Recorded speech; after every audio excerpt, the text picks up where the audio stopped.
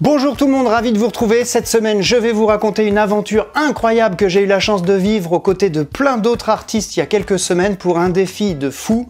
Écrire et jouer un spectacle et tout ça en 24 heures seulement. C'est pas possible. Eh ben si, c'est possible. Non, c'est...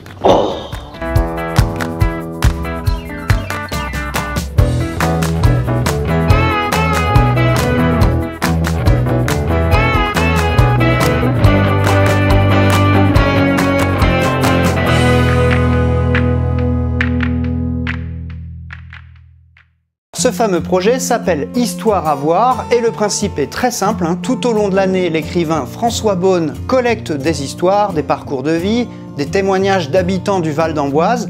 Ensuite, dans un super lieu qui s'appelle la Charpente à Amboise, toujours dans l'Indre-et-Loire, on rassemble des musiciens, des danseurs, des comédiens et on tire au sort un de chaque pour former des équipes de trois qui vont devoir en 24 heures écrire un spectacle d'une quinzaine de minutes autour d'une des histoires recueillies par François. Dans l'épisode d'aujourd'hui, on est samedi matin et je suis donc en route pour Amboise. J'ai rendez-vous pour le café à 8h30, hein, ce qui n'est pas trop tôt étant donné que je le rappelle, mais on a juste aujourd'hui pour se rencontrer les uns les autres, écrire et répéter le spectacle qu'on va jouer demain. En parlant de jouer demain, ça c'est notre espace scénique et c'est ici qu'on se produira demain à 14h et à 16h. Ah oui, parce que j'ai oublié de vous le dire, mais tout ça, ça va se jouer devant un public en plein air. Ça n'a l'air de rien, mais vous allez voir que ça aura son importance dans quelques heures. Quelques minutes plus tard, les deux membres de mon équipe arrivent et laissez-moi vous présenter Hermine Rigaud, comédienne, et Korotumu Sibide, danseuse. Tous les trois, on se donne quelques minutes pour se découvrir, faire un petit peu mieux connaissance, se montrer les costumes auxquels on avait pensé pour notre histoire, faire quelques essayages, bref, briser un peu la glace parce que, mine de rien, faire un spectacle avec des gens qu'on connaît pas, ben, c'est pas simple. Et puis, ben, ensuite, hein, sur les coups de 10 heures, on s'y est mis. De- d'espace, changement de, de tout, la soupe, tu vois. Et c'est là où elle démarre, je m'appelle Anne Et, et c'est là qu'elle commence à parler. J'aime bien l'idée de. Il y a deux personnes qui prennent une soupe, et puis il y en a une des deux. On se fait quelques lectures du texte, on rassemble nos idées, on rebondit sur les propositions des autres. Alors très vite, on se rend compte d'un truc qui va vraiment rendre ce week-end assez mémorable, en tout cas en ce qui me concerne. La mayonnaise prend entre nous trois. On s'entend super bien. C'est simple, c'est drôle, c'est fun, tout en étant studieux et professionnel, bref, tout ce que j'aime.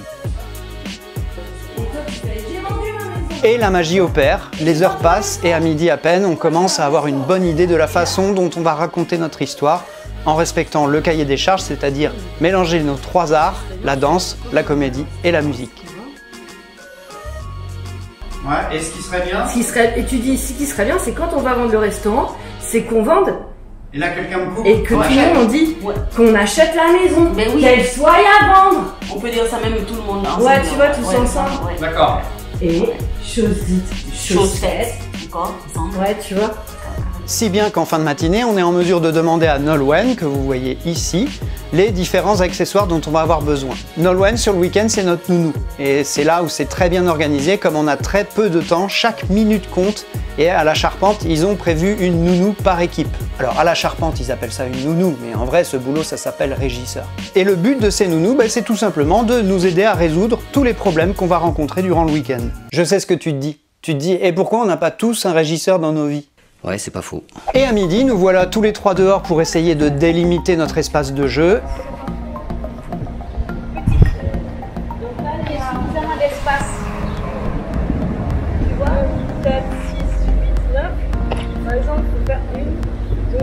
Et puis à 13h, pause. Tout le monde se retrouve dans les locaux de la Charpente pour déjeuner. Là encore, organisation parfaite. Des bénévoles se sont chargés de nous faire à manger, toujours pour gagner les précieuses minutes. Là, par exemple, à l'image, vous avez quasiment tous les participants des autres équipes.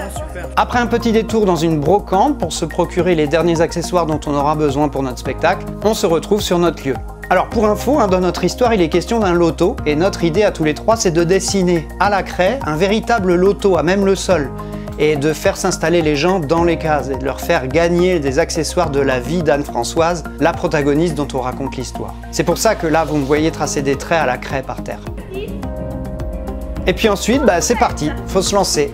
On se retrouve à jouer le truc qu'on a imaginé le matin même, petit bout par petit bout, en faisant et en refaisant tout en essayant d'améliorer à chaque fois sans trop penser que normalement on a plusieurs mois pour créer et là il va falloir le jouer demain. Polo rigole bien. Est-ce que demain on va rigoler comme ça? C'est facile.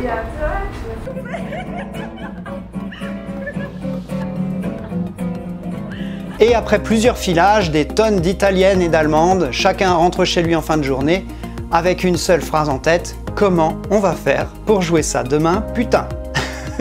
Sauf que le lendemain, mauvaise surprise.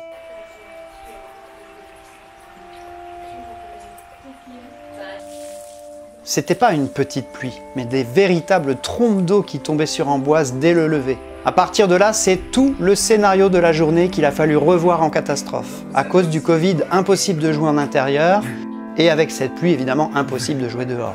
Surtout nous, avec notre truc à la craie par terre. Normalement, le dimanche matin, c'était réservé à des filages entre nous, pour nous permettre de jouer ce qu'on avait écrit la veille en avant-première, histoire d'avoir au moins une générale dans les pattes, mais aussi voir le travail des autres équipes. Alors, on décide de tout rassembler à l'intérieur et de faire les filages prévus entre nous à l'intérieur. Accueillir du public dedans, c'était pas possible, mais entre nous, ça on pouvait. Et pour les spectacles cet après-midi, bah, on croisera les doigts pour que ça s'arrête. H, moi, 3 minutes avant la générale. Oh, On n'est pas prêt. Mais si, Histoire à voir, je m'appelle Anne-Françoise. Je m'appelle Anne-Françoise. Je m'appelle Anne-Françoise.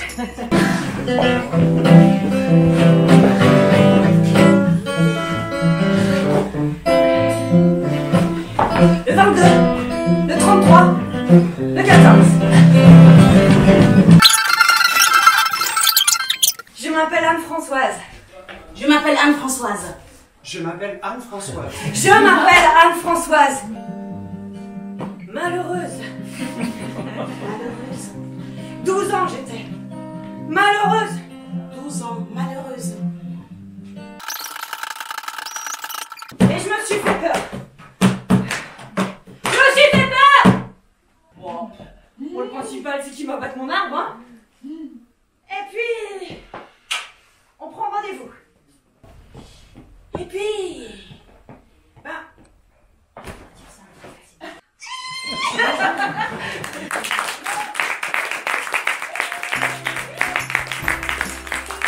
Du coup, comme prévu, on a pu voir deux spectacles des deux autres équipes, parce que la troisième équipe pouvait pas jouer ça à l'intérieur. C'était fabriqué pour être joué dehors.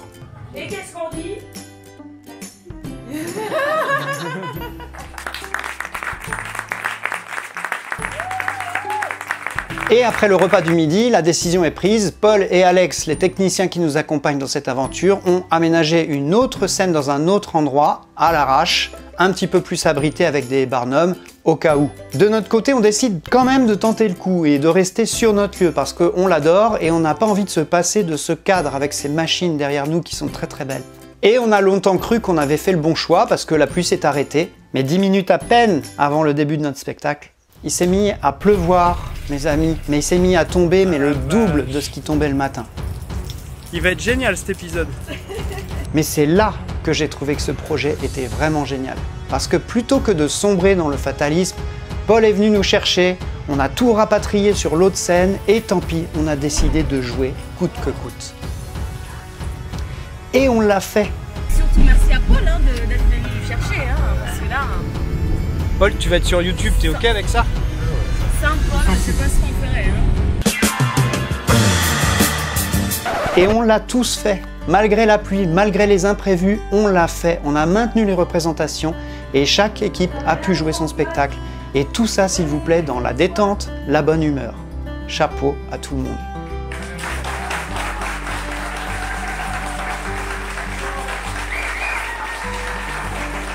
S'il y a seulement deux choses à retenir de ce week-end, c'est que l'expression The Show Must Go On est définitivement importante pour moi. Parce qu'on est fait comme ça. On n'annule pas, on fait avec. Parce que quand on y pense, on pouvait pas vraiment mettre beaucoup plus de contraintes pour faire un spectacle. 24 heures pour l'écrire, sans se connaître au préalable, sous la pluie, et au final on se rend compte qu'avec de la bonne humeur et du professionnalisme, on y arrive toujours. La deuxième chose à retenir, c'est que définitivement je ne veux travailler que dans le plaisir.